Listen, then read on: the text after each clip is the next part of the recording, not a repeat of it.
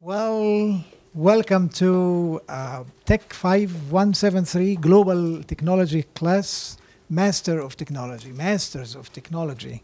And uh, we are delighted today to have a guest speaker. I wouldn't say guest speaker because he I've been here is house, he is a household. we are his guests. And uh, when you tell uh, uh, or your grandchildren will ask you and say, Baharlou, Alan Baharlou, and read it in textbooks and books of history, and, and you tell them, I was in his class one time. I saw this man. I shook hands with him. I asked him.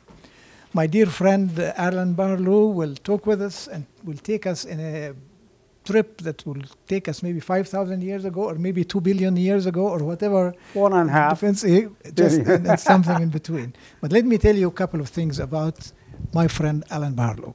A dear friend over the years.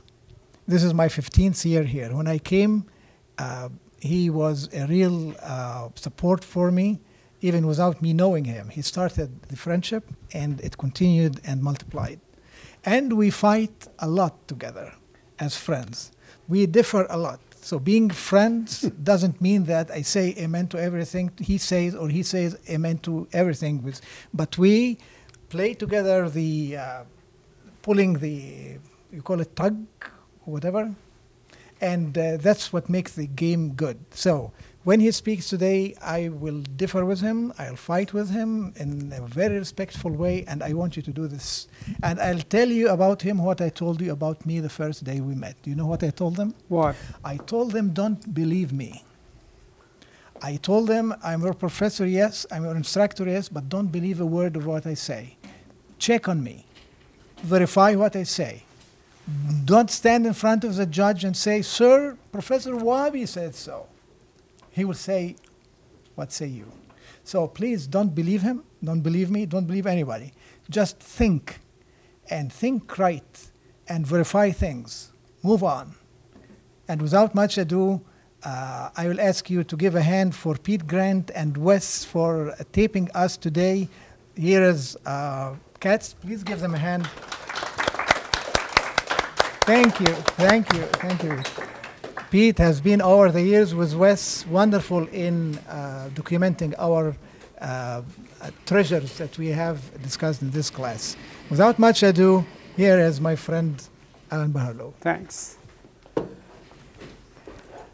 I look forward every semester to this occasion.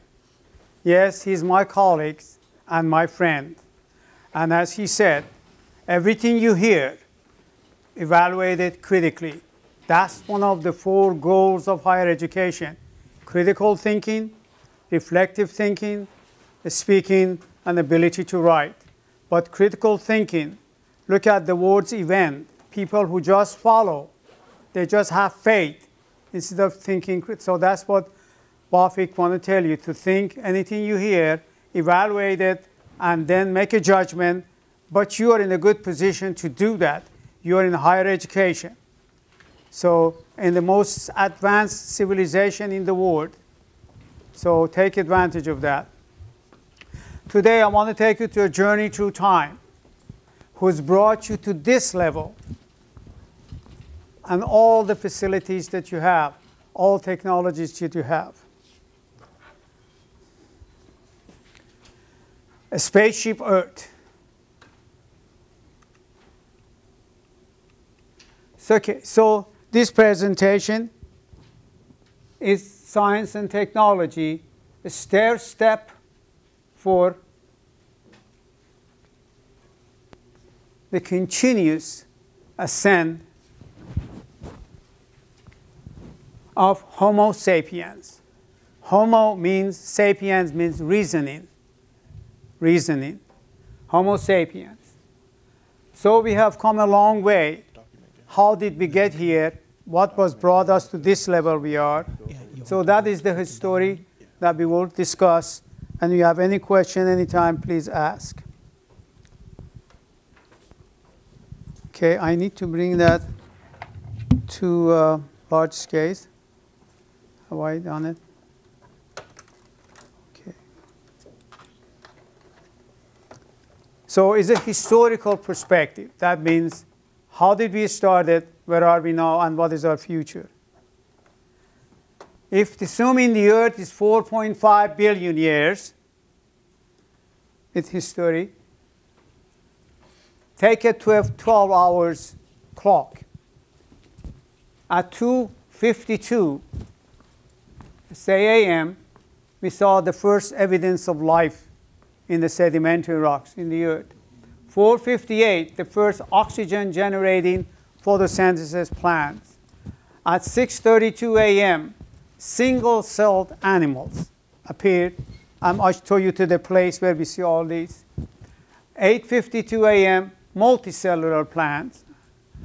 And 10.35, diversification of animals, different species. And 1042, land plants. And in 1159, 13 seconds, is the early humans appeared. In other words, we have been a short time here.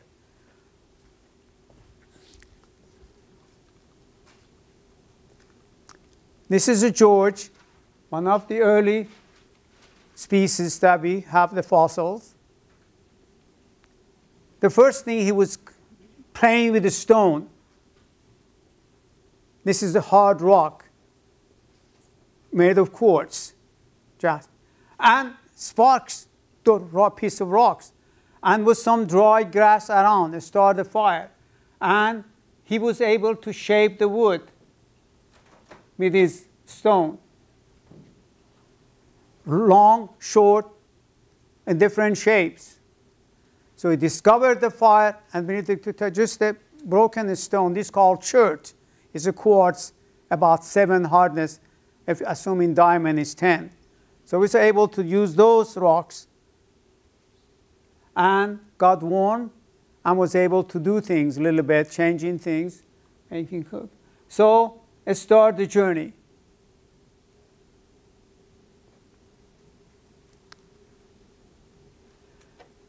Well, this just all through time, philosophers, scholars developed and spoke and gave ideas step by step for us to look for ahead.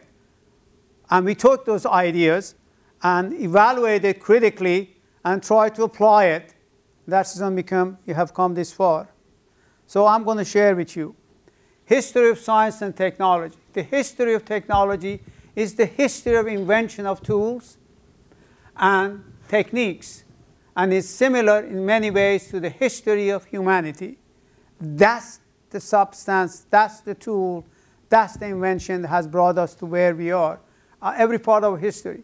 Background knowledge has enabled people to create new things, and conversely, many scientists' endeavors have become possible through technologies which assist humans to travel places we could not otherwise go and probe the nature, dig holes, climb up of the universe in more detail than our natural sciences allows.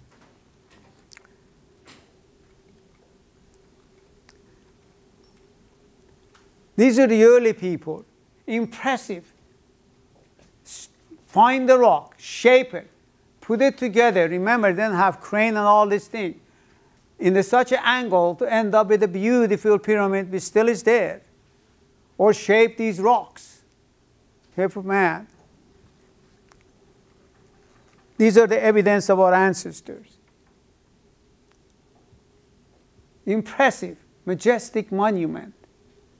We're still puzzled about the, their imagination. The needles, all Cleopatra needles with history life on it. In Egypt, Acropolis in Greek, 3,000 years. Persepolis in Persia, in Iran, shape the rocks, move the rocks, melted. When you go to Persepolis and you see a huge auditorium with rocks, how did they put these rocks in angle together and kept it to stand on all those weight? Still is impressive when we go to these monuments in Egypt. Bit further, In 1961, US President John F. Kennedy called on Congress to fund a space program to send man to the moon before 1970. Addressing our environmental problems, because he knew doing that we'd invent a lot of new technologies, and shifting our political, economic, and social institution to a paradigm of sustainable development will require still more vision, resolve, and commitment. He knew that by that technology we could go so far when we have that accomplishment. And now you see how did happen. The fact that astronauts reached the moon just eight years after Kennedy's speech demonstrates the power of human ingenuity in meeting a challenge and provides hope that we will be able to meet the larger challenge of living sustainably on Earth. 250,000 miles away, we go there and come back how with machine takes us there, what kind of fuel we use. But just let's decide to go.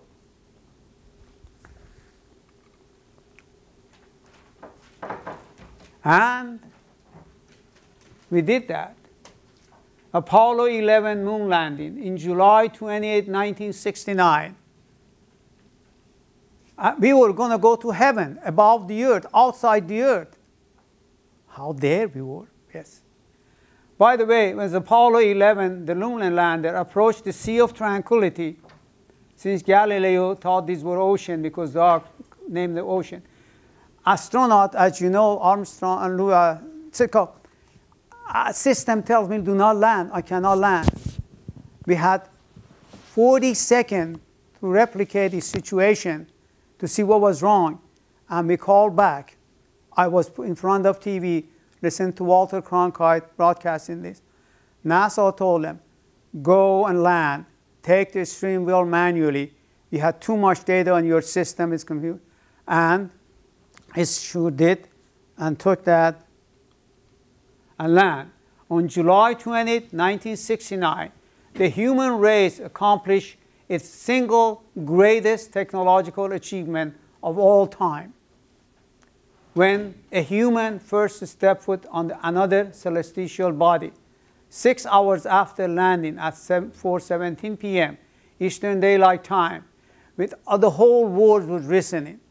With less than 30 seconds of fuel remaining, Neil Armstrong, which was born August 55, 1930, and just died August 25, 2012, took the smallest step into our greater future when he stepped off the lunar module named Eagle onto the surface of the moon, from which he could look up and see Earth in the heavens as no one had, and you see some picture done before him. He was shortly joined by Buzz Aldrin, and the two astronauts spent 21 hours on the lunar surface and returned 46 pounds of lunar rocks. After their historic walks on the moon, they successfully docked with the command module, which is orbiting above Columbia, in which Michael Collins was patiently orbiting the cold but no longer lifeless moon. So they saw really from outside on the moon that the Earth was a spaceship.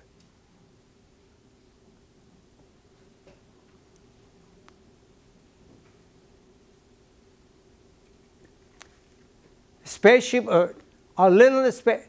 When we say spaceship Earth, that means the system, a machine. That means all the principles, physics, chemistry, biology, all exactly, precisely, without exception applies. That was spaceship Earth. So that's where we are in right now. Earth is only 12 uh, or 1,000 miles in diameter.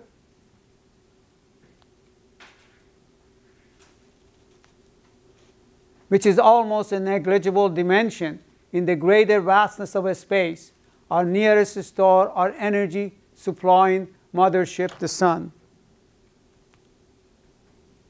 is 92 million miles away.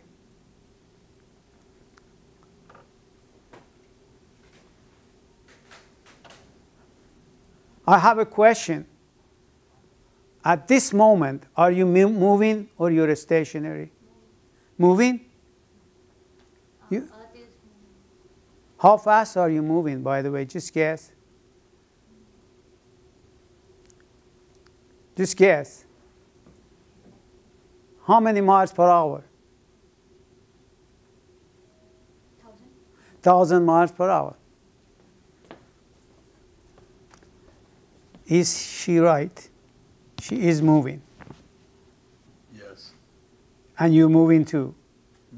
Is she right, thousand miles an hour? Um, not sure about that. More or less? Yes. Uh, more. Boy, you all are very optimistic. Our little spaceship Earth is right now traveling at 60,000 miles an hour around the sun because has to complete a circle in 365 days. And is also spinning actually, which around itself. That's what we get day and night which at the altitude of Washington is about 1,000 miles an hour. So right now, we're going that fast. I don't feel it. Why? So we deserve the question we asked after they said that.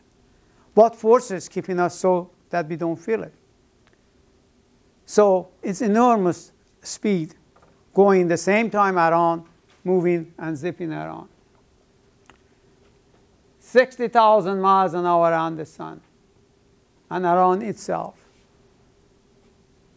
1,000 miles an hour.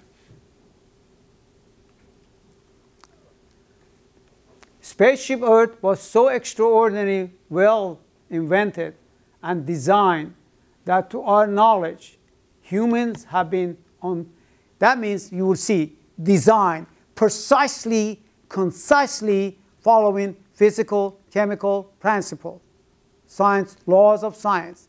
No exception, no magic, no surprises.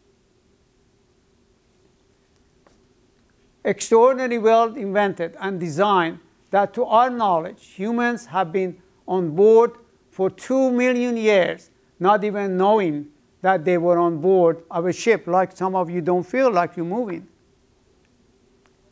So part of the invention of the spaceship Earth and its biological life sustaining is that the vegetation on the land and the algae in the sea using photosynthesis are designed to make the life generating energy for us to an adequate amount. But we cannot eat all the vegetation. As a matter of fact, we cannot eat very little of it.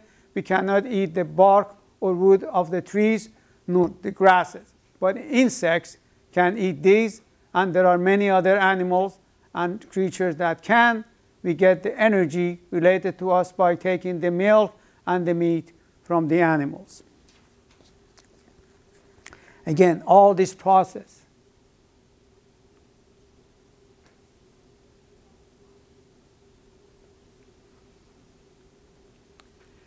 in the imagination of those who are sensitive to the realities of our era, the Earth has become a spaceship.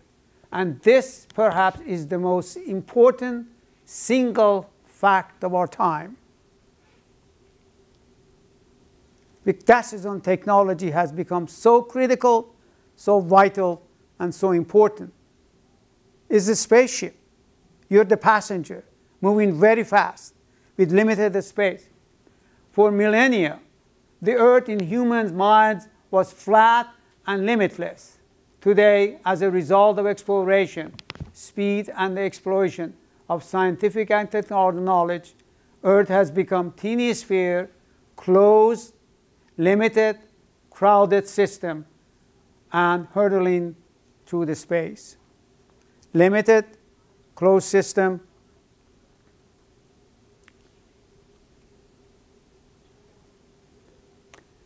This change in humans' image of their home affects their behavior in many ways and is likely to affect it much more in the future, your future, you that will guide spaceship from now on. It is not only that humans' image of the earth has changed, the reality of the world's social system has changed as well.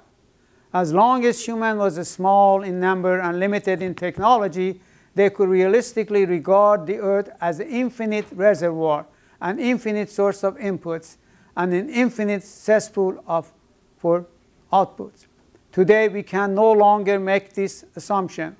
Earth has become a spaceship, not only in our imagination, but also in the hard realities of the social, biological, and physical system in which human is meshed.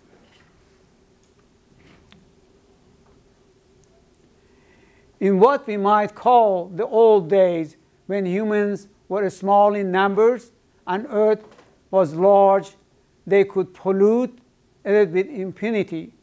Though even then, then they frequently destroyed its immediate environment and had to move to a newer spot, which then proceed to destroy. Now humans can no longer do this. They must live in the whole system. I mean, we cannot put a sign at Mexican border say no pollution allowed in the United States. Oh. Oh, cannot do that? We cannot put a sign and say no pollution from Minnesota could come down to the southern Mississippi River.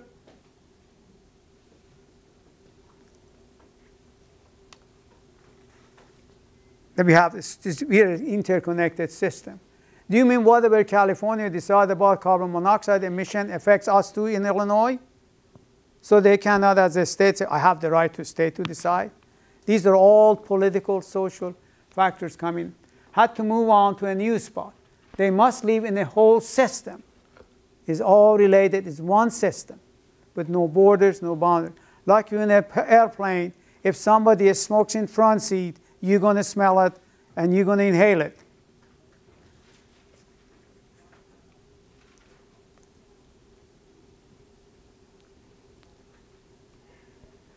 Begin to develop quite a little thermodynamic sense. You know that you are either going to have to keep the machine, that's when technology is critical. The machine which operates with precise physical, chemical, biological, and geological principle in good order, or it's going to be in trouble and fail to function. We have not been seen our spaceship Earth as an integrally designed machine, which to be pers persistently successful must be comprehended and serviced in total. Now there is one substantially important fact regarding the spaceship Earth, and that is no instruction book came with it. We had to learn all of it. We have to discover it. Lack of instruction has forced us to find that there are two kinds of berries. Red berries that kill us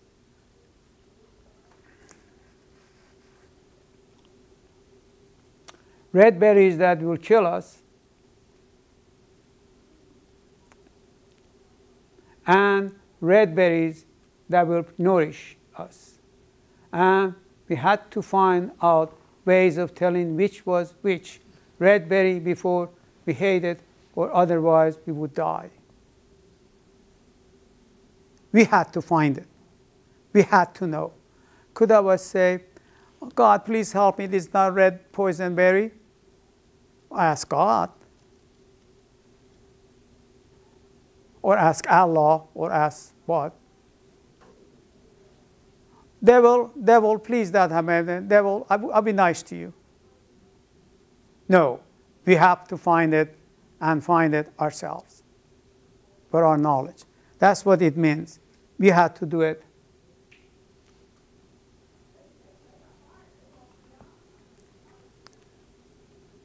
So we were forced, because of the lack of instruction book, to use our intellect, which is our supreme faculty, to devise scientific and technological experimental procedure and to interpret effectively the significance of the experimental findings.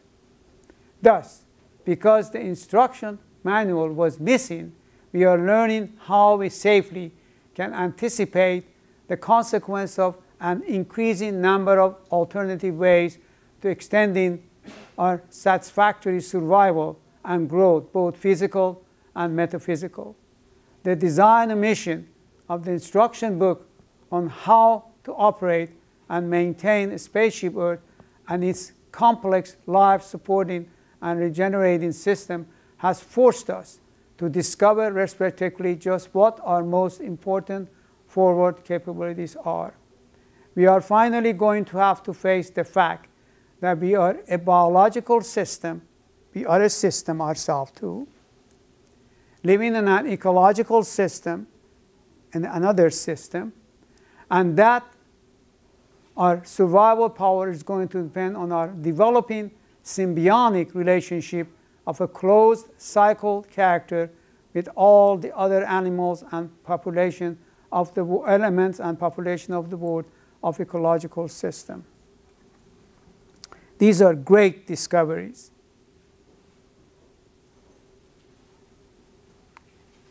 Once we begin to look at Earth as a spaceship, the appalling extent of our ignorance about it is almost frightening. Finally, the consequence of Earth becoming a spaceship for the social system are profound and little understood. It is clear that much human behavior and many human institutions in the past, which were appropriate to a finite Earth, are entirely inappropriate to a small, closed spaceship. We are interrelated with no borders, no boundaries, interconnected. We cannot afford an unrestricted conflict, and we almost certainly cannot afford national sovereignty in an unrestricted sense. It is in our hand, and especially your hand, because you have the knowledge, you have the vision, you think critically, you want to know why and how. You're reflective. Uh, if this is my son, how do I want him to treat it? Oh, uh, making sarcastic remark, you just reflect it. You immediately apply it to yourself. We cannot afford unrestricted conflict, and we certainly cannot afford national sovereignty in an unrestricted sense. Literally, it is in your hand. And the only knowledge, critical thinking. Can I just pray? Let me hang you from this wall and you play, not fall. No. You have to use your thinking. And that's what this class of Dr. Wafeek teaches technology to train you to do that. Now the whole earth is in our hands. Collectively, disregard our race and nationality, we must maintain it for now and the future generation. That, that's a moral obligation for our children. If this earth gets past this stage, this earth were only a few feet in diameter, floating a few feet above the field somewhere, people would come from everywhere to marvel at it. People would work, walk around it, marveling at this big pool of water, the little pool of water flowing between the pools. People would marvel at the bumps on it and the holes in it. And they would marvel at this very thin layer of gas surrounding it and the water suspended in the gas. The people would marvel at all the creatures in the water. The people would declare it precious because it was the only one, and they would protect it so that it would not be hurt the ball would be the greatest wonder known, and people would come to behold it, to be healed, to gain knowledge, to know beauty, and to wonder how it could be. People would love it and defend it with their lives, and the roundness could be nothing without it if the earth were only a few feet and in diameter.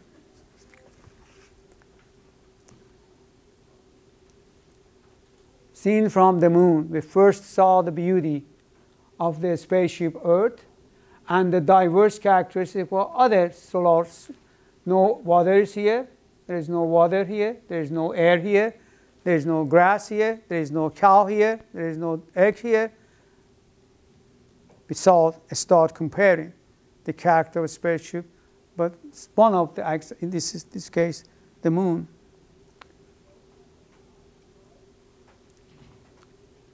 Well, that historic moment, we left the earth, we went to another celestial body.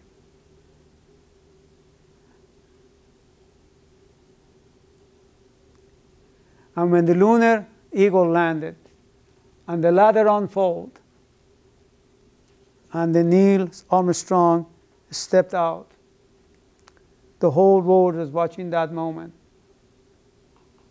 And he stepped on the surface of the moon. By the way, this footprint will be there forever because there's no air, there's no water on moon. Stay there. And he raised the American flag. There's no air, so it was made of aluminum. And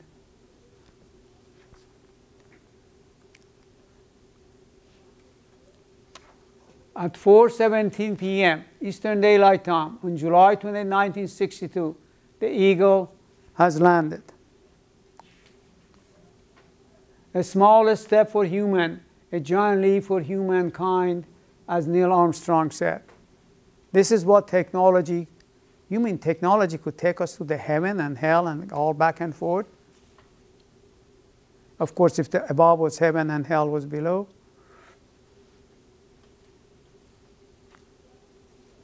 It was a famous picture, the moon in the background, American flag, Neil Armstrong, Collins, the colleagues that take the picture, reflection of the sun, all on the surface of the moon in one picture. We decided to go other part of solar system.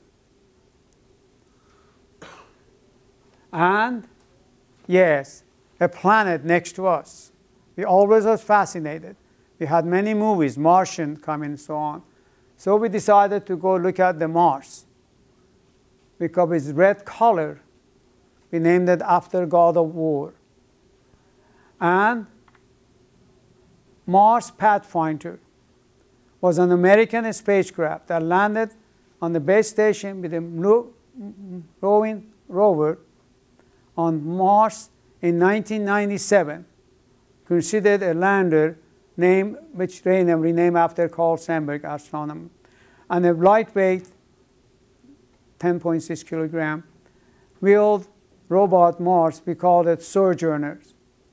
We told sojourner to go around, sample the Mars, sample the soil, sample the rocks, measure the air, and collect it back. You mean we were on Mars? That's right. And named this rock, but we call this couch because from this distance like a couch.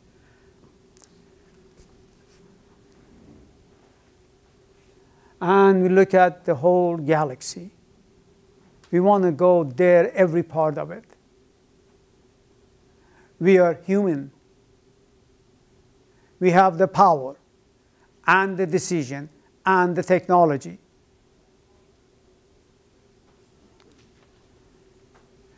We want to explore the entire solar system. And now we have later on spacecraft just about leaving our solar system going to other galaxies. From Mercury to Venus to the Earth to the Mars to Jupiter, all these planets. By the way, this is a great picture of Venus. This is Venus. Huh, I always see Venus white. Yes, because it's covered with thick cloud of CO2. Reflect the sunlight, so you always see when we drop a spacecraft, a robot under it, this is the way it is. It's very hot, it's boiling. As a good example of global warming. Perfect next door to us. Because of thick, that is on his white, that's on the god after God of beauty.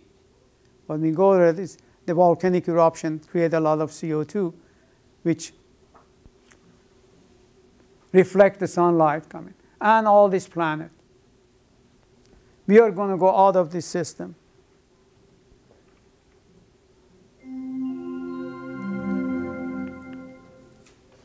This is Milky Way galaxy. It's Milky Way because of whitish color. Each of these is a sun like ours. There is a shooting star here, moving that light there. Yes, we're going to explore this.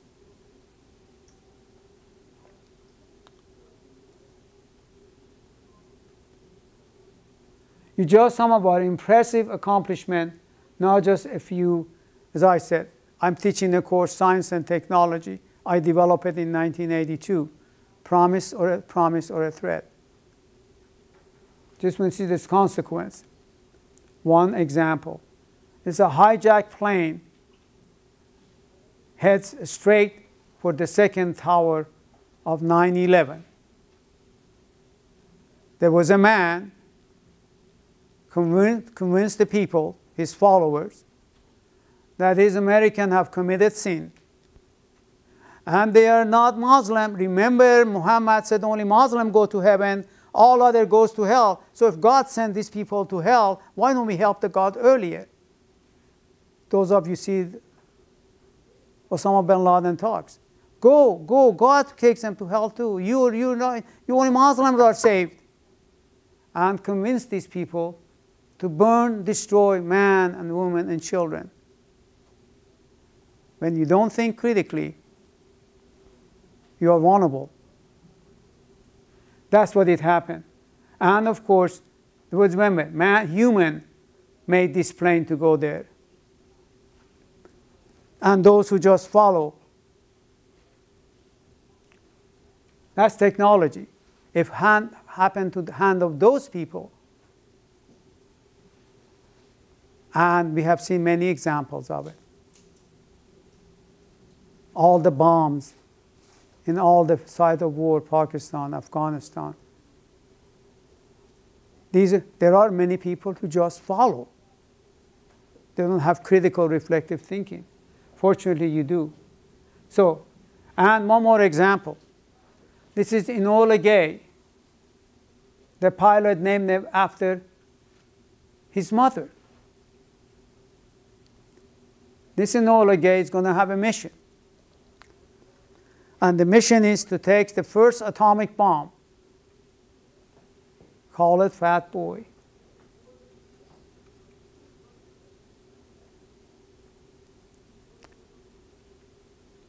And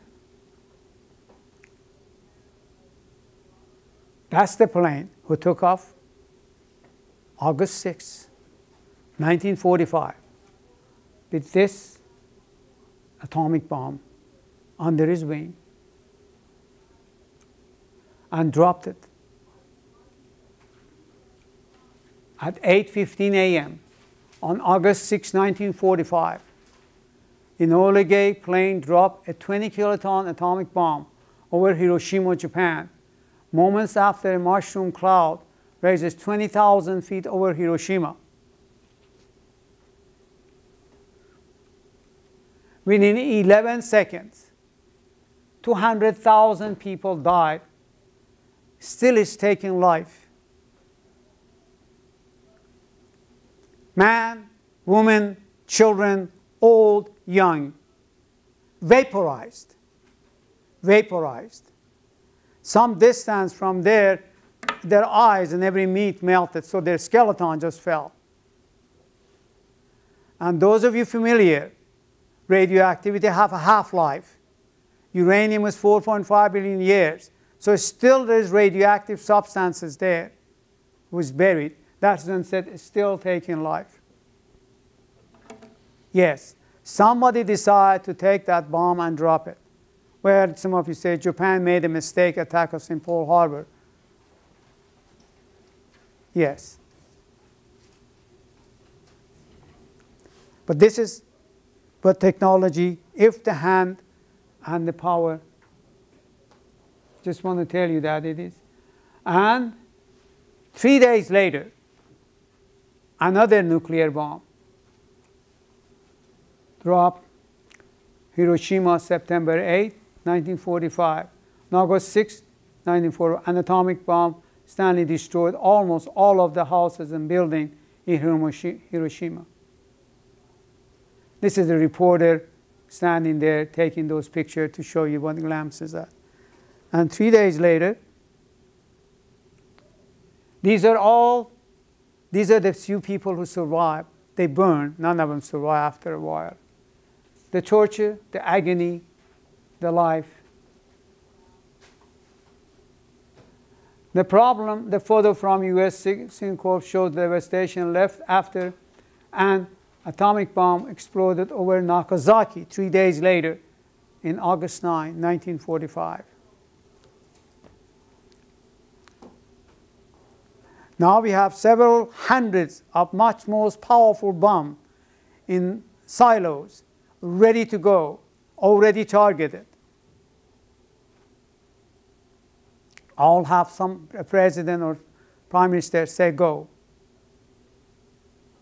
So I just want to show you the technology, that power, must be handled by people who are moral, ethical, think critically, reflectively, and see the end of using these systems. Again, as I hope that's you. So,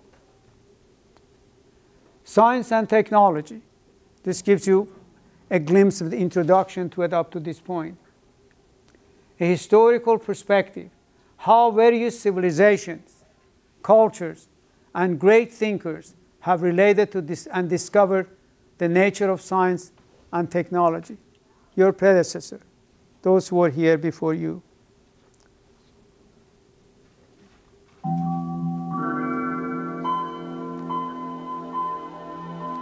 You all heard about Mary Leakey a great anthropologist. Let me just few exam to see what it. For all the ancient skulls and prehistoric stone tools that Mary Leakey chiseled out of the rocks of East Africa here in Tanzania, what is accidental anthropologists will be best remembered for our feet, feet prints. Actually, one day in 1978, on the arid Laetoli plain of Tanzania, Leakey bent over an impression that looked as if had been made by human.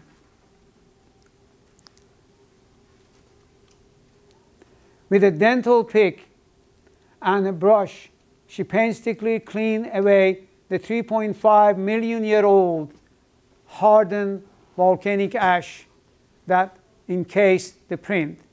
Three hours later, convinced that the print had indeed been left by human ancestors, she stood up and announced, now this is really, this is really is something to put on mantelpiece or in a museum.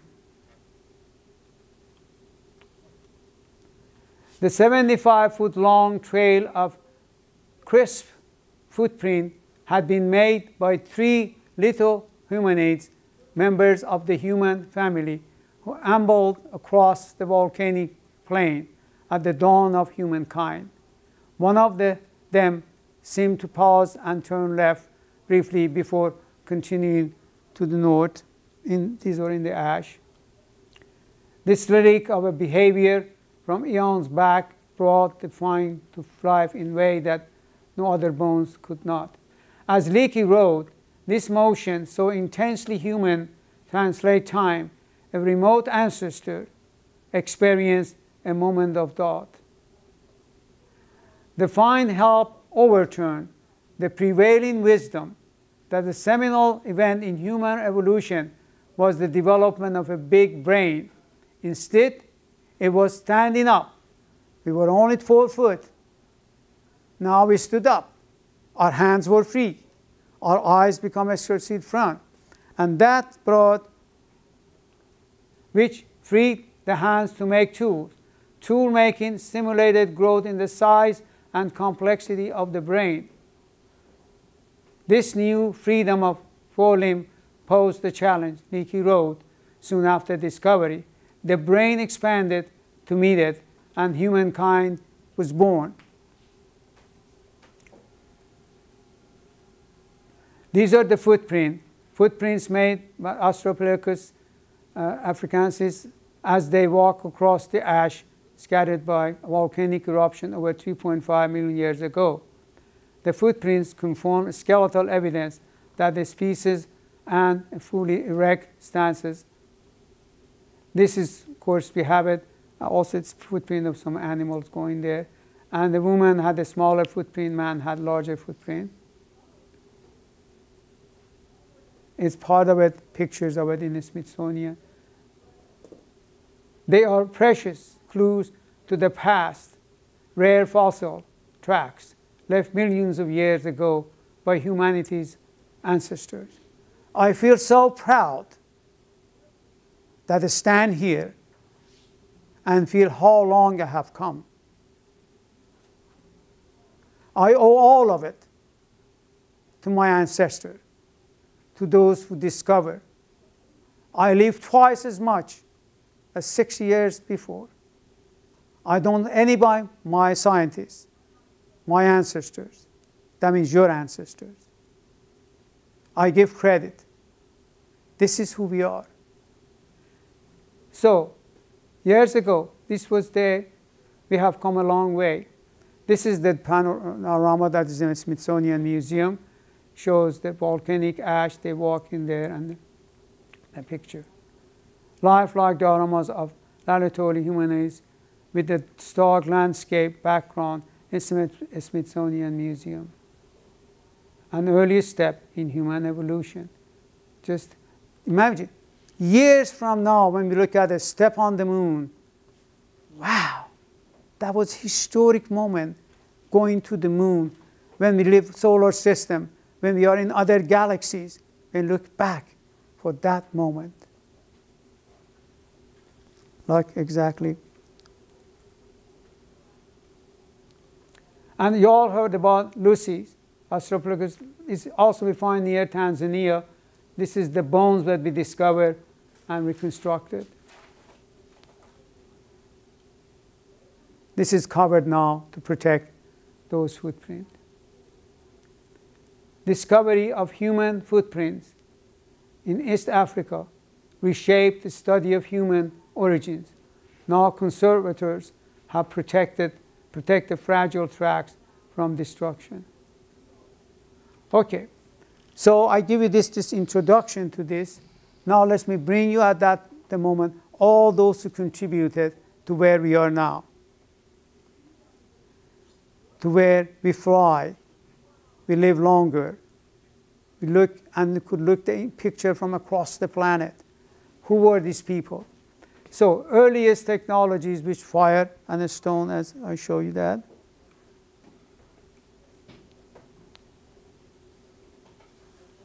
These are Neanderthal man.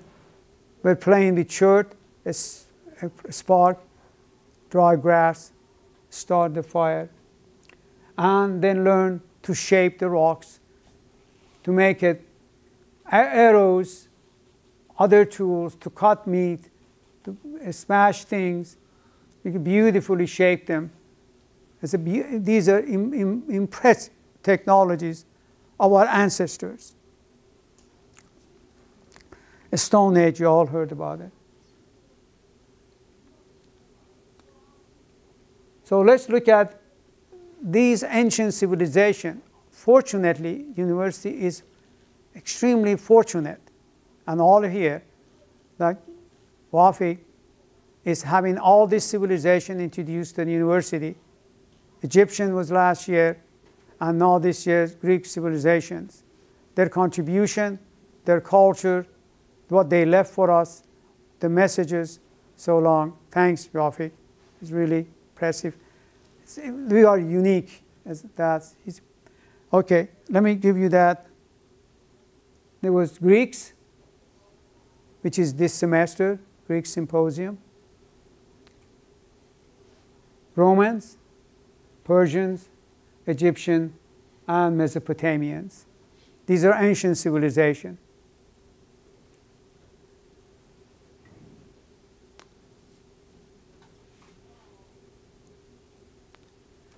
You all know they were here.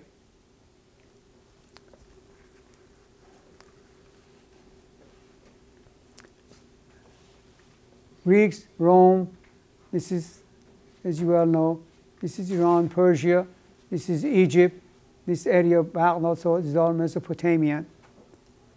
They are the one who put the foundation for all science and technology, who we are. Our views, our visions, our health, our facilities. So, but Persia changed name from Persia to Iran, Saudi, yes, all Egypt, Greeks. So, the Earth's natural forces. This is where this ancient civilization faced. Natural forces, volcanoes, earthquakes, tornadoes, hurricane, thunder, lightning, seasonal climates, forest and brush wildfires, diverse forms of life, and their relationship and disease and death have been of intense interest to Homo sapiens since their earliest appearance on Earth. All this would happen. Suddenly, a big storm will come, a fire appears, big hails, Earth would shake. Just remember, don't have all the scientific background. Earth, what or who is respon- They want who is responsible for these events? They couldn't, they couldn't predict, they didn't have weather stations, so on, like so on. Understanding the cause and effect of these natural forces are the stepping stones and the staircase of science and technology, and the ascent of Homo sapiens in a continuous journey of knowledge and excellence. So, how did ancient civilization in the beginning explain this? Role of gods and goddesses in ancient civilization. They assigned gods and goddesses. They said were blessed with powers and cursed with human emotions like love and anger. They said this is this is these gods and goddesses are doing. They're nice, but don't double cross them. They give in other words, kind of a reflection of their own attributes. Powers and cursed with human emotions like love because they didn't understand the cause of these. Their resistance, their residence, has been atop of Mount Olympus in, Iraq, in Greeks, the highest mountain of Greece, from which derives also their characteristic name, Olympian gods. The important characteristic of Olympian 12 gods was their immortality. Each one of them has the ability to appear in front of mortals and provide them with advice and help. Many examples of that can be found in the Iliad and Odyssey, works of poet Homer. In them, many times God Athena appears in various forms to Odysseus, as has been in Proctor. It is not rare, of course, to see the opposite. Some of these ancient Greek gods to get angry with the mortals and try to harm or punish them. So, fire, hurricane, tornado, volcanic. Made this Vulcan, god of volcano, got angry. All this ancient civilization, these, their gods had all these characteristics. So they couldn't explain it. This is Pantheon, is the Greece where the gods Greece were there. This Rome, where the gods and goddesses were. This is Mecca, where the Muslims. So, Egypt, for example, Osiris was one of the most important deities of ancient Egypt. Osiris is one of the considered to be the first ancient Egyptian god to be officially recorded in written scripts of ancient Egypt, since Osiris is the god of afterlife and as you see their pictures and they're drawn. Interesting things that all of these have R shapes, R body shape. And all have R characteristic, all of these. Poseidon, for example, was the god of the oceans. When the sea came up and flooded and many areas were near the sea wiped out and people. God of the sea. Trident is a weapon that could shake the earth when he would shake it and destroy any object. And Zoroaster, which is Persian god, power. And Mitra, meteorology comes from here, it was goddess of Persian rain and so on. They all had this characteristic. All the earth's event associated with the gods and goddess. Many of them. Sistine Chapel, which is history of all the religion really, but that this is the god of Muslim, Mesopotamians. And had power. Told Abraham to go get your only son, Isaac, and get it to that rock and cut his throat if you want to believe me. To tell what to say, go do that. All you heard about it. So they had both. Moses. And then came down from Mount Sinai. I have climbed Mount Sinai, did like that. Saw this some people having drunk, so on. Open chasm. And all fall in and drawn. So all these Muhammad, so all of them had this characteristic which developed by these ancient civilizations. And many of these picture of activities, scientific in the wall, I go to this. So,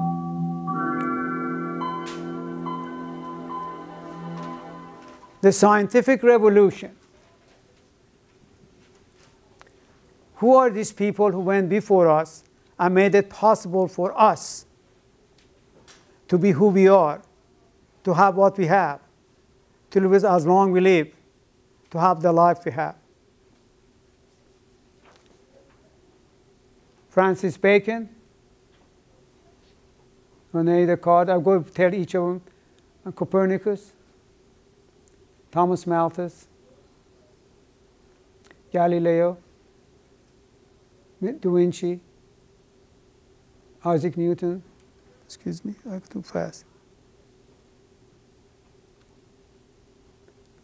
Immanuel Kant, Charles Darwin, or Einstein's.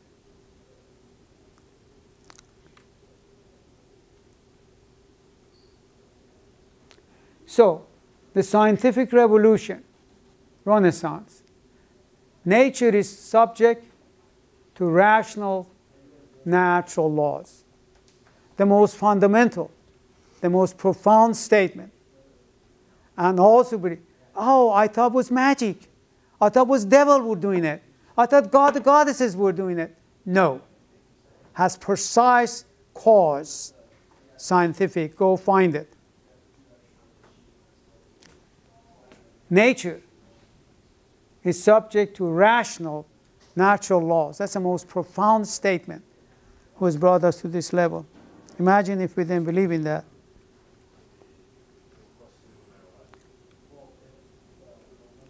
And these laws apply to animals, to plants, to the smallest piece of solid atom, to the smallest part of living DNA, to liquid, to solid, to small and piece, all and everything. This is what has brought us this far. We believe there was a cause, rational, natural cause. Imagine if we believe it's work of gods and goddesses. We can't do anything. We, do anything. we cannot stop it. no way. Just don't waste your time. If they want a tornado comes, tornado comes. But we, this was the most fundamental step we took to brought us where we are.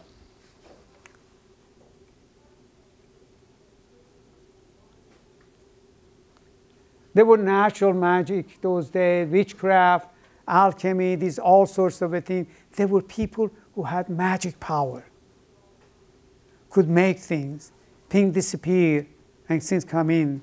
You get sick, you die. In the beginning, many of these people also came to explain the causes of events.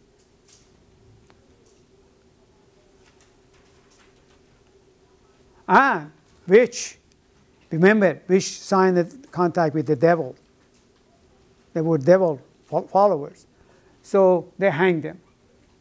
The history shows how dangerous our conjectures about the word can become. Those who were ignorant, who thought this, he, she did it. Do you remember that lightning? She did it. That witch did it. Oh, find him, find her. There were people who believe on those. That's what it means. The word can become, once they lose touch with reality, we have it now.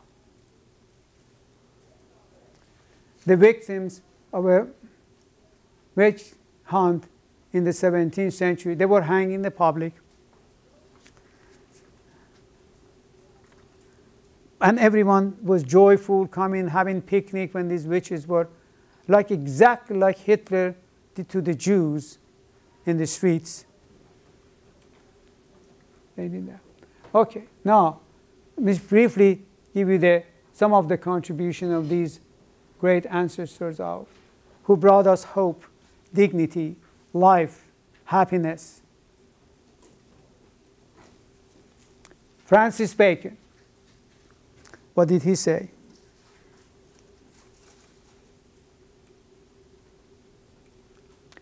Mechanicist philosophy.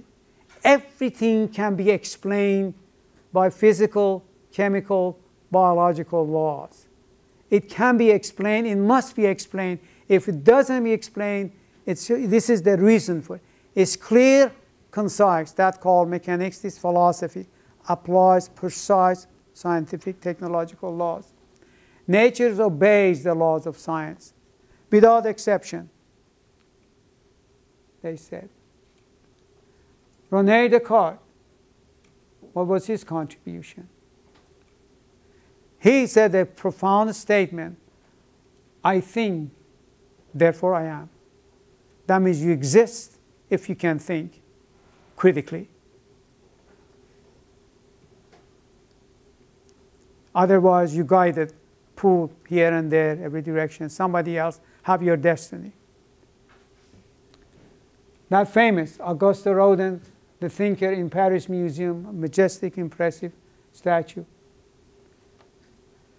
The nakedness of Rodin's famous statue of solitary thinker, deeply wrapped in thought, suggests that human is uniquely reflective, reflective and self-ever living, and that this is something fundamental to the human condition. I was just hearing on TV just before I came here, preachers said, but that's God's word that homosexuals are sinners. And imagine some people believe in that and go hurt them, insult them. Imagine if that person was reflecting, wait a minute, if my son is homosexual, how I want him to be treated? That calls reflective, which is a, the most powerful of scientific.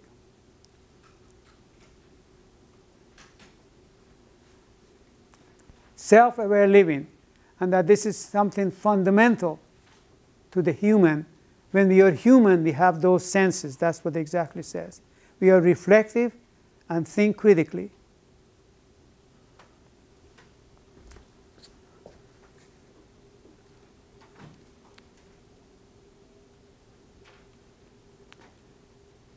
One of the concepts, geocentric concept.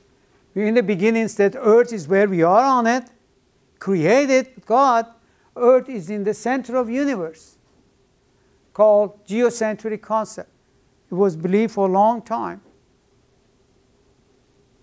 And even the pictures drawn, this is the earth and all other thing goes around it. And the hell, by the way, is below the earth. This is earth. Earth and all other planet around it. That was the image of the earth. Then the science and technologies believed by ancient civilization, Jews, Christians, and Muslims. because earth where we are on it, and we created in God's image. So it's a special place. Then Nicholas Copernicus, who said the tales of heliocentricity. He said he divides, he looked at the motion of stars and planets and days and night and season, and now he's critically think he thinks critically. He wants reason and he looks for evidence. He said heliocentric concept. Sun is in the center of universe. Oh, you kicked out our earth out of center of universe? Oh, you were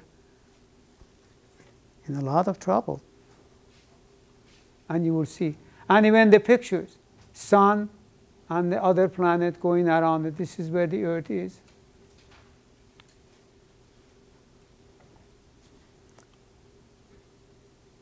And same as pictures, which is by the way in the Sistine Chapel again.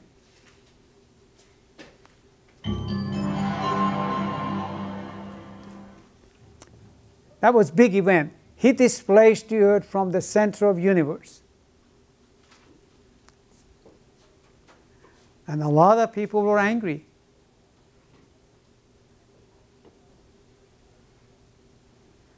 And you know when people are angry,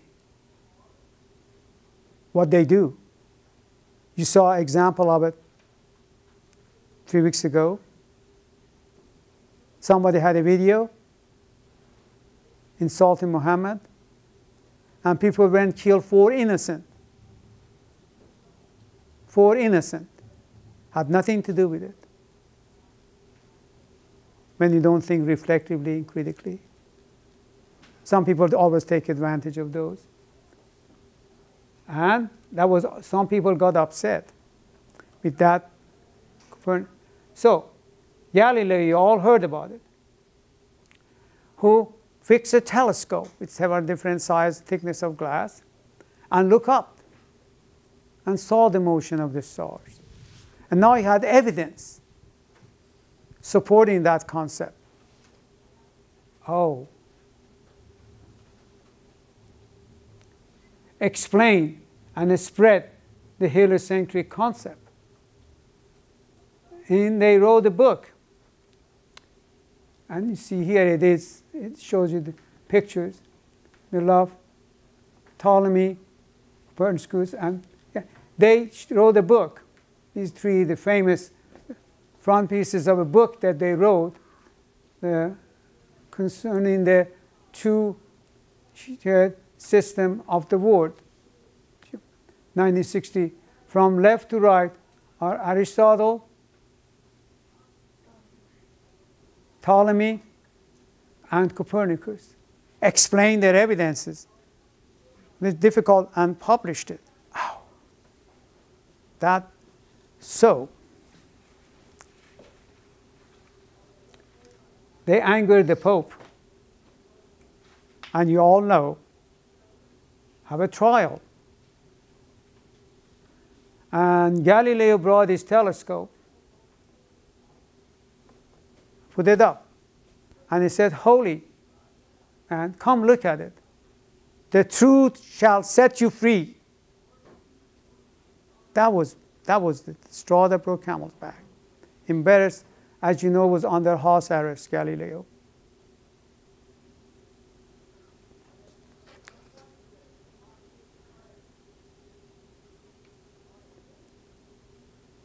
And Da Vinci, Leonardo da Vinci, all heard about him, great painter also.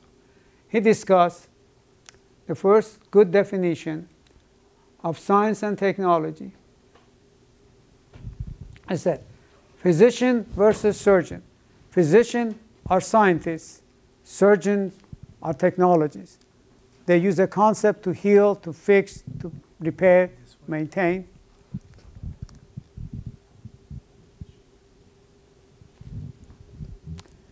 Isaac Newton. You have famous story. Was sleeping in the area. An apple fell out of the tree on his head. Shows here. And he saw just observing it, he saw the apples which were higher, when falling, they create more pressure on his head. And the bigger, wait a minute, why the bigger apple hurt harder? And throw some rocks. You want me to finish? Uh, stop. Just a second. I'll, just a break is here. And when you read his literature that he wrote some of them, if you ever go to Italy or Paris, you will see some of it written by all his hand. I've taken a group to Europe, take it there. Isaac Newton, he just observed the bigger apple, heard more, they came faster, and he came to from science and experimental philosophy. He brought the Newton law of gravity. Gravity depends on the speed and mass of the subjects. Still, we use it. We use that to take our spacecraft all the way to the moon, to the Mars, and bringing things down, airplane, everything. No magic. It's a law.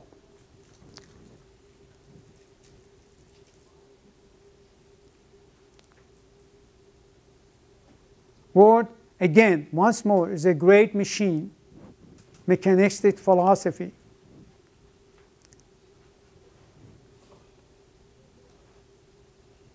Do you want me to stop here? Or? Is this a good stopping point? That's good. You could stop here. Okay, and we'll turn. you are the boss. No, you are. We will turn the lights up like this. And uh, uh, would you give him a round of applause, please? Thank you very much. If you want to stay, ask me any question. Please do so.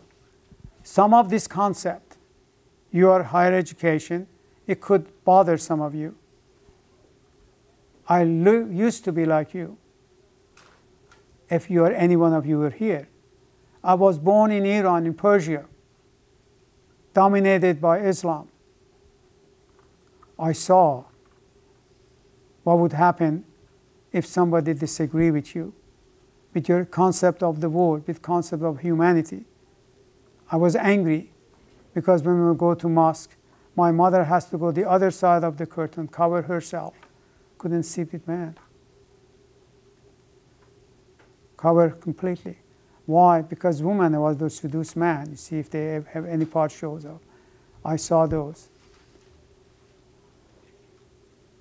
So I live in the place that you couldn't ask questions. Fortunately, live in a country that we have the freedom to express ourselves in a collegial manner. So, if you please, with all emotion you have. When did you leave? I live in uh, November 10, 1961, landed in New York City. My, I still remember that moment. My eyes were full of tears. I couldn't believe I was there.